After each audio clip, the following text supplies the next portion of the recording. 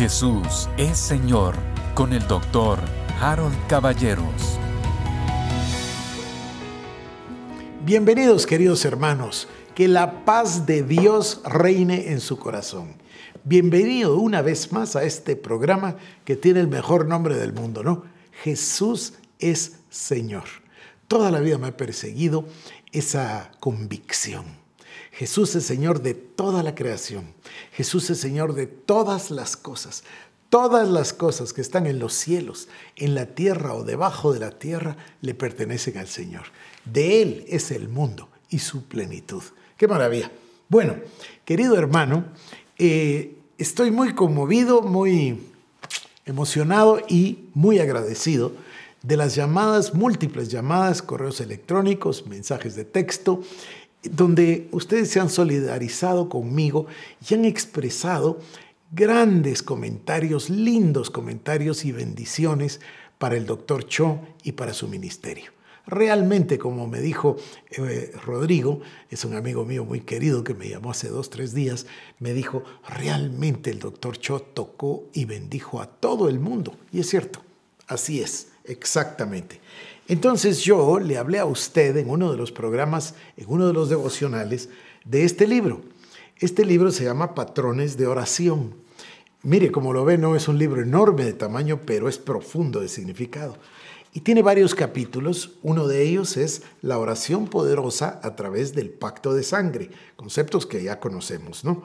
Y luego habla de la oración de estilo libre, esa es la que la mayoría de personas realiza, la oración por tópicos o temas eh, precisos, y luego habla de la oración posicional y de la oración por ondas concéntricas o ripple effect. Yo le hablé de esta, es maravillosa. Ahora volví a leer el libro y me emocioné muchísimo con este particular capítulo. Dice él de que esto le ayudó muchísimo para las reuniones de la iglesia. Cuando la iglesia se reúne y nos cuenta también de las reuniones de oración en el estadio, eh, dice él, es, es difícil concentrar a las personas en orar una hora continua. Sin embargo, dice él, con esta oración de ondas concéntricas es muy fácil. Y pone un ejemplo que ya le ponía yo. Dice, comenzamos con lo más cerca y nos vamos retirando hacia lo más lejano. Lo más cerca probablemente vamos a orar por nosotros mismos, nuestra relación con Dios y también seguramente nuestras necesidades.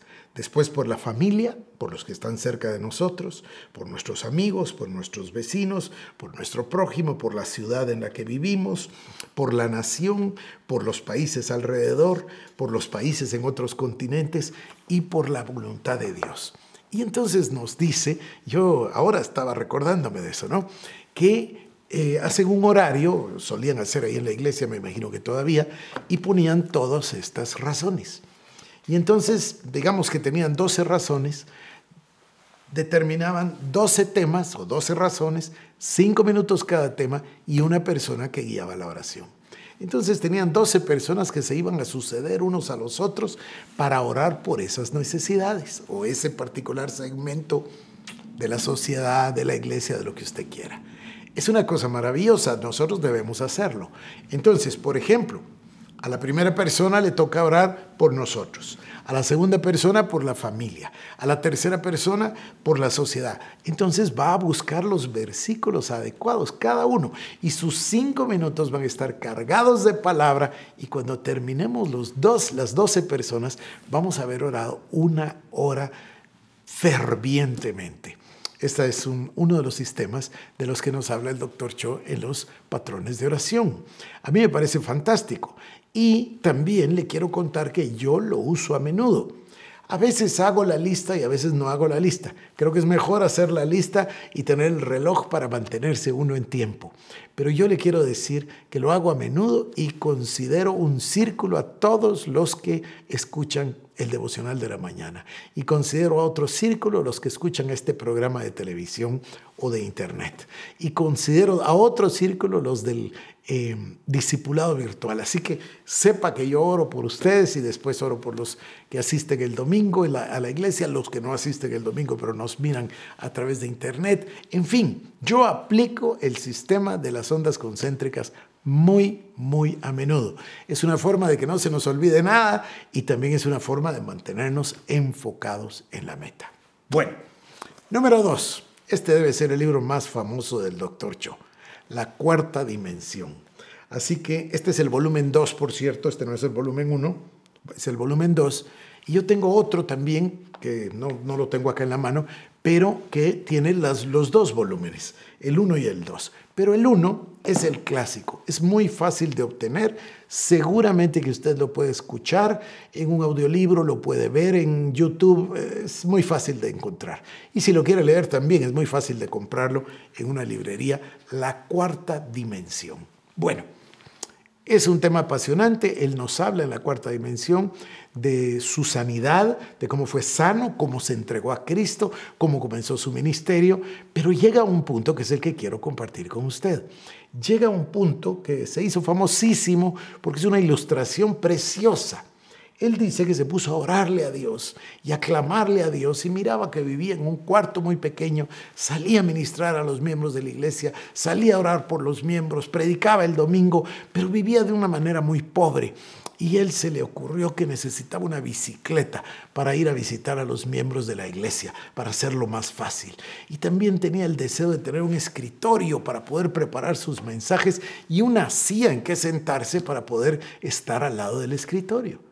Entonces él, que tenía una fe renovada, estaba en ese primer amor, sirviendo a Dios con pasión, se puso a orar y le pidió a Dios una silla y una bicicleta y un escritorio. Y oró y oró y oró y oró y vio pasar los días y las semanas y los meses y no había ni bicicleta, ni había silla, ni había escritorio. Su fe decayó, su semblante decayó, él sufrió y volvió a regresar delante de Dios a buscar su rostro y decir, Padre, ¿qué es lo que estoy haciendo mal? ¿Por qué no me contestas, Señor? ¿Por qué no me quieres dar un escritorio o una silla o una bicicleta? Aquí viene el poder de la ilustración. Nos hace ver que el Espíritu Santo le habló y le dijo, hay muchas bicicletas, pero nunca me has dicho cuál quieres. Hay muchos escritorios, pero no sé cuál es el que tú deseas. Hay muchas sillas, pero no tengo idea de cuál es la que necesitas. Y esa verdad penetró en su corazón y dijo, ¿con qué razón hay tantos miles y miles y miles de cristianos que nunca obtienen respuesta para sus oraciones?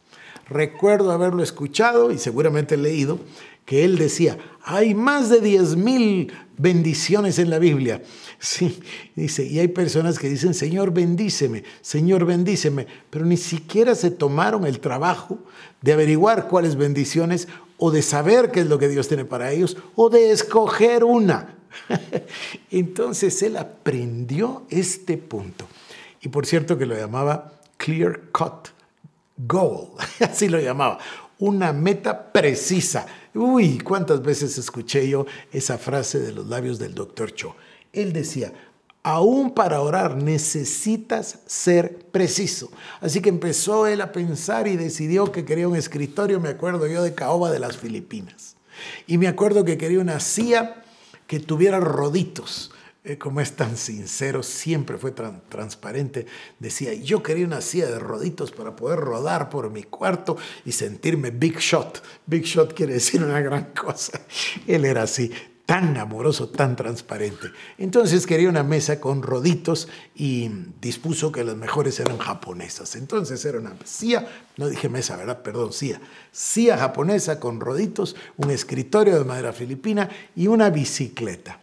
Y recuerdo que decía él que en ese tiempo las mejores bicicletas eran hechas en Estados Unidos, así que quería una bicicleta hecha en Estados Unidos. Regresó a su cuarto de oración y empezó a clamar a Dios una y otra vez, ahora sí, por una silla en particular, por una bicicleta en particular y por un escritorio en particular. El poder, querido hermano, de la selección, de la escogencia, de priorizar las cosas, pero sobre todo tal vez de enfocarnos. Y entonces él podía clamar a Dios y aquí viene el otro principio. Esto es tremendo. Dice, la fe es la certeza de lo que se espera, la convicción de lo que no se ve. En inglés dice la fe es la sustancia de las cosas que se esperan.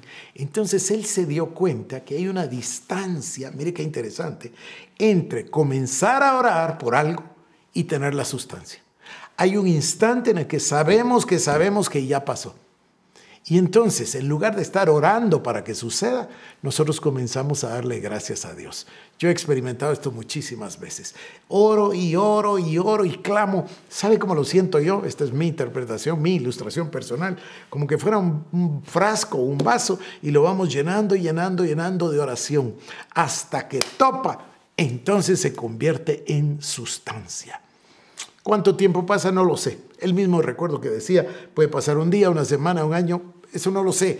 Depende de nuestro corazón hasta que obtengamos la certeza, la convicción de lo que no se ve, la sustancia de lo que se espera o la certeza de lo que se espera y la convicción de lo que aún no vemos con nuestros ojos.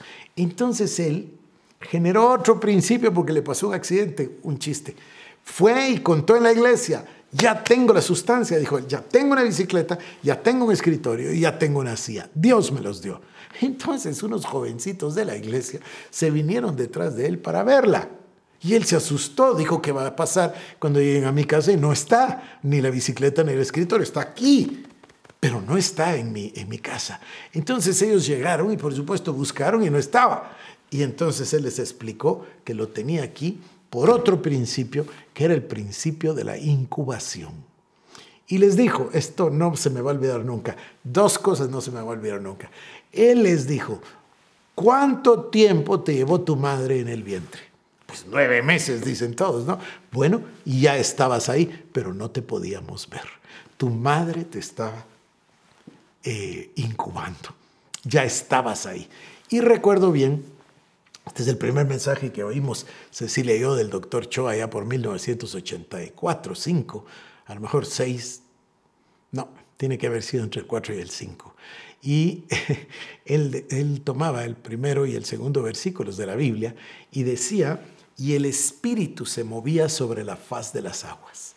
Y entonces tomó el, el, versículo, se movía y demostró que era la acción como la de una gallina que está incubando un huevo. A esto le llamó el principio de la incubación. Es decir, ya tengo la certeza en mi corazón. Tengo una petición, tengo la certeza. Estoy esperando el término para dar a luz el milagro. Esto es maravilloso.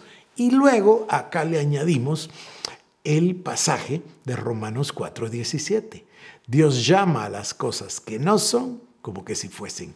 Y entonces a nuestra petición, a nuestra fe, a nuestra sustancia, a nuestra incubación, a nuestra oración, le añadimos la confesión. Dios llama las cosas que no son como que si fuesen. Estos son los principios simples, sencillos, que nosotros aprendimos a través de la vida del doctor Cho o la enseñanza del doctor Cho, pero que marcaron nuestra vida. Y hoy me encuentro yo a mí mismo realizando todos estos pasos todas las veces, por todas las cosas. Y todavía me encuentro a mí mismo que hay cosas que me faltan, que todavía no he visto, y que esto refresca mi fe, me anima, me incentiva y me llama a retomar temas que a lo mejor dejé con el frasco de fe a la mitad. No llegué hasta llenarlos de sustancia. Bueno, ahora lo haré he retomado mi fe, he retomado este mensaje tan sencillo pero tan profundo y espero, querido hermano y querida hermana, que a usted le sea de bendición. Todavía hoy y mañana yo compartiré con ustedes algunas de las enseñanzas del doctor Cho en una forma humilde, cariñosa, amistosa, fraterna, de homenaje para un siervo de Dios tan grande que Dios nos permitió tener tan cerca. Que Dios le bendiga. Esto fue Jesús es Señor. Búscanos en nuestras redes sociales como Iglesia El Shaddai Guatemala.